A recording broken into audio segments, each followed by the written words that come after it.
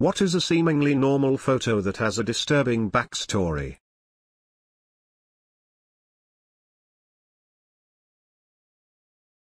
If you're British, and of a certain age, you'll probably be as haunted by this grainy image as I am. I still distinctly remember the first time I saw it. At the time, James Bulger was only missing, and it was regarded as a cause for optimism that he was last seen with other children. The truth was far worse than anyone imagined, and still inspires a visceral reaction unlike any other crime in my lifetime. This is a photo of Tyler Hadley holding a cup in a party at his house. Just before this party he had murdered his mother and father and hid their bodies in the master bedroom. The boy holding the free hugs sign that went viral for hugging a cop. Ultimately he was being used by his abusive adoptive mother for online social clout and eventually she murdered their whole family by driving their car off of a cliff. John Edwards Robinson. This photo. John Edwards Robinson, yellow sweater, is holding baby Tiffany, whose mother he murdered the day before. He gave baby Tiffany to his brother, saying she was adopted. His brother, along with Tiffany, didn't find out the truth for 15 years. I remember moving to a small suburb town of Raymore, Missouri just 15 minutes south of Kansas City. It was just a couple months after moving there they found John Robinson's storage unit with 55-gallon drums with the corpses inside. I would ride my bicycle by them every day. This photo creeps me out. John Lennon signed an autograph for his killer, Mark Chapman, just a few hours before the murder and then asked him is that all? Chapman even had a gun on him at the time.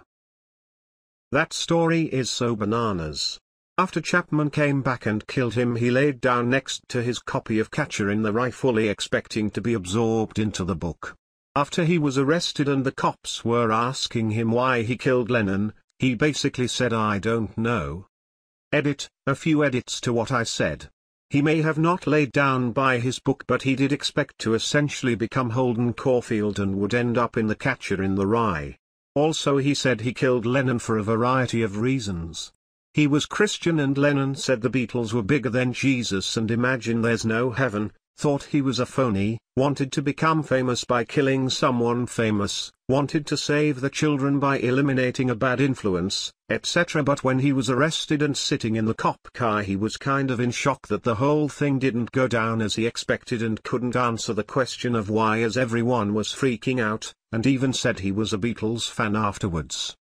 He was extremely mentally ill and constantly hallucinated tiny people that he would rule over and that he put in charge of his budget. He was also doing a bunch of acid. This photo of a scuba diver. What you're seeing is a normal photo of a scuba diver, but in the background you can see another diver behind them booking it for the ocean floor, and on the right hand side of the image, there's a flat and strangely stiff figure, Tina Watson, about 100 feet underwater, unconscious or likely already dead. Tina was visiting Australia on her honeymoon with her new husband Gabe Watson, also a diver, who convinced her to get certified despite Tina being very nervous and uncomfortable underwater. During an open ocean dive that was far too advanced for her limited experience, Tina experienced an equipment malfunction and drowned. Her husband Gabe is, at best, an arrogant, incompetent, lying piece of shit who exaggerated his abilities as a certified rescue diver and was unable to save his wife when she began exhibiting signs of distress. At worst, he's a cold-blooded murderer who deliberately shut off her air supply until she passed out and then allowed her to drown. He gave 16 differing accounts of the incident, which occurred shortly after he requested that Tina make him her sole life insurance beneficiary, on the advice of her father, Tina didn't change her policy, but she told Gabe that she had. After being charged with Tina's murder, Gabe pleaded guilty to manslaughter and was sentenced to four and a half years in prison. His sentence was suspended after only 18 months. He is now back in Alabama. Whatever you believe happened beneath the surface, the photograph is chilling. This picture was taken of a group of people whose plane crashed in the Andes. They were eventually saved but had to resort to cannibalism to survive. They are all smiling in the photo but it becomes eerie when you realize the human spine to the right of them in the picture. Edit, as many have pointed out there is a movie based on this event called Alive. It should be noted they didn't kill people to eat them. They regretfully ate meat, starting with extremities, from victims of the crash and survivors that had already perished.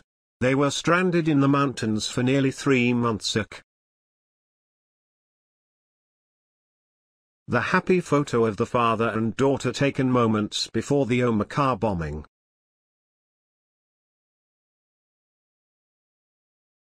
There is a photo of an American volcanologist sitting down while studying volcanic activity at Mount St. Helens. Thirteen hours after the photograph was taken, on May 18, 1980, the volcano erupted and killed 57 people including the volcanologist. I've posted this before. A politician at an election rally. Last photo of Indian Prime Minister Rajiv Gandhi. Taken moments before a suicide bomber, wearing orange flowers, lower left, also on the inset, top left, hugged him bent down and touched his feet and detonated her bomb. Edit, last two frames of the film.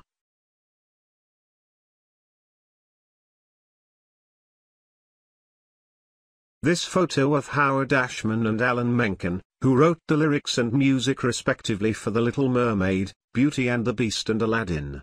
In this photo they had just won Oscars for The Little Mermaid. That night Ashman told Menken they needed to have a serious talk when they got back to New York, and when they got back a couple days later, Ashman told Menken he had AIDS and was going to die.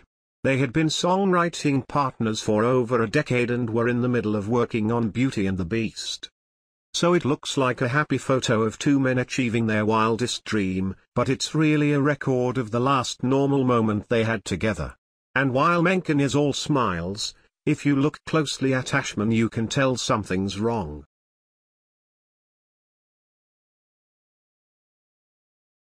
Apparently this is a photo of a four-year-old girl's footprints before she drowned in a pond. This story is legit. The Larimer County Coroner's Office said Thursday that the cause of death was drowning, but hypothermia was also a significant condition. According to the coroner's report, Naomi fell into the pond around 5 p.m. and was found some time later. On Thursday, some questioned the pond's placement, which is a few yards down a sloped hill from the Loveland Sports Park playground. The pond is literally a couple steps from the playground. It is extremely difficult to watch multiple toddlers slash preschoolers at that park, as there are pillars and other obstructions in the way of the view.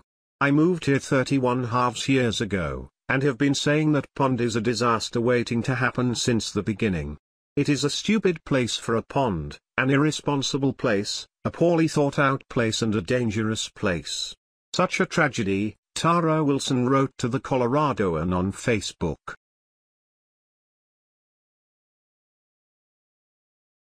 Two brothers smiling, Kevin and Bart Whitaker. Hours later after arriving home from dinner, Bart killed Kevin and his mother after conspiring with a friend. He tried to kill his father as well, but he survived. It's a horrible story. I don't know what became of Bart though, all I know is that his father somehow found the courage to forgive him. This physicist, Harold Agnew, is holding the nuclear core of the Fat Man atomic bomb which was dropped on Nagasaki.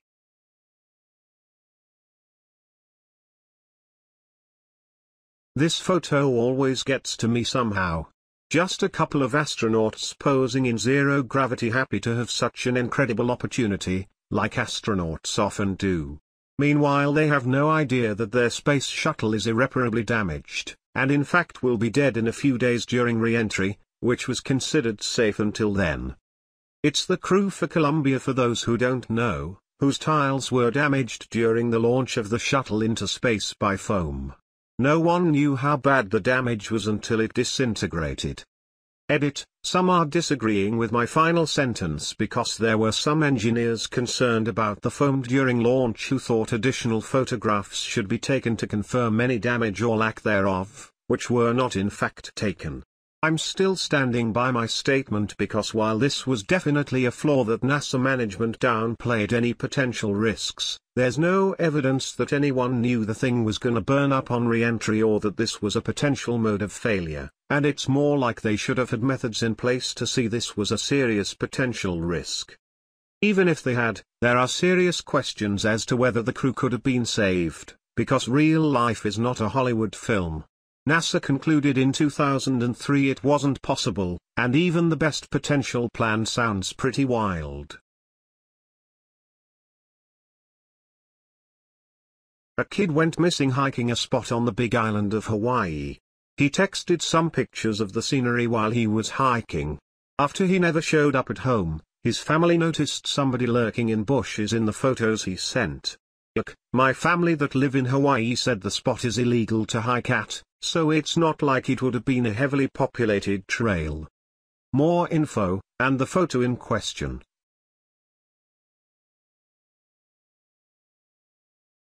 A still photo from a video. A man who swam to his girlfriend in their underwater hotel room while on vacation in Tanzania, and proposed to her with a note and a ring. He died before he could resurface from the water. A picture of Genie doing tests. Genie was a feral child, but not because she was raised by wolves, but because of abuse, where she was essentially tied to a chair in a room her whole childhood, and punished when she made noise. She was found, rescued, and they tried to teach her to speak, but also a lot of linguistic research is based on her case. The thing about the picture is, while her family had claimed her to be retarded she actually managed to learn to communicate a bit. By all we know now, she was curious, intelligent, and eager to learn, her brain had just literally missed the window to learn language. She's, on this picture, desperately trying to learn to communicate, but she never gained full language. Also, she sort of ended up cast aside by the researchers who used Het as a guinea pig. If alive, she's in an assisted living facility somewhere. Edit, several people commented on the cast aside and used as a guinea pig part. While some researchers, such as Curtiss, seem to genuinely have cared for Genie, there definitely are signs that not all of them had equally noble motives. I did research this a while back, and different articles focus on different people. This article paints a somewhat different picture than the Guardian one. Psychiatrist Jay Shurley helped assess Genie after she was first discovered, and he noted that since situations like hers were so rare, she quickly became the center of a battle between the researchers involved in her case. Arguments over the research and the course of her treatment soon erupted. Genie occasionally spent the night at the home of Jean Butler, one of her teachers. After an outbreak of measles, Genie was quarantined at her teacher's home. Butler soon became protective and began restricting access to Genie. Other members of the team felt that Butler's goal was to become famous from the case, at one point claiming that Butler had called herself the next Anne Sullivan, the teacher famous for helping Helen Keller learn to communicate. Eventually, Genie was removed from Butler's care and went to live in the home of psychologist David Rigler, where she remained for the next four years. Despite some difficulties, she appeared to do well in the Rigler household. She enjoyed listening to classical music on the piano and loved to draw, often finding it easier to communicate through drawing than through other methods. NIM withdrew funding in 1974, due to the lack of scientific findings. Linguist Susan Curtiss had found that while Genie could use words, she could not produce grammar. She could not arrange these words in a meaningful way, supporting the idea of a critical period in language development. Rigler's research was disorganized and largely anecdotal. Without funds to continue the research and care for Genie, she was moved from the Rigler's care. At the very least, not all of their motives were so pure, and this kid was failed on several levels.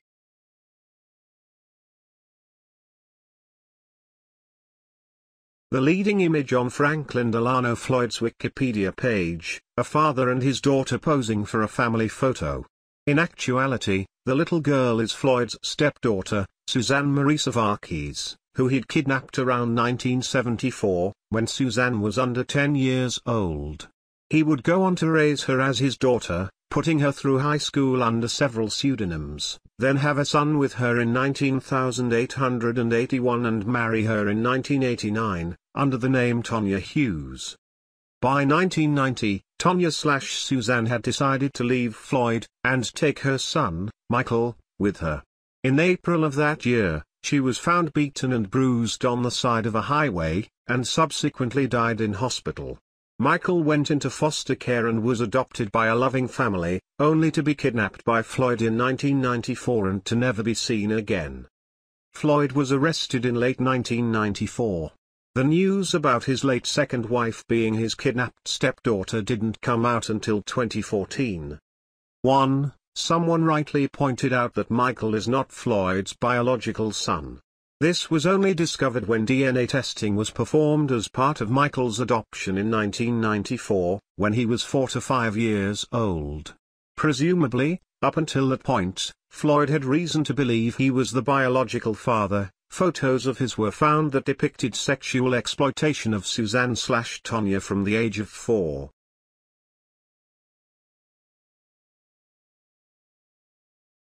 I read all of these but didn't see the relatively recent murder case of the two girls from Delphi. Libby and Abby. It's an ongoing investigation but local law enforcement released a film of their killer taken from one of the girls' phones. But also a photo of Abby walking over the railway bridge shortly before they disappeared.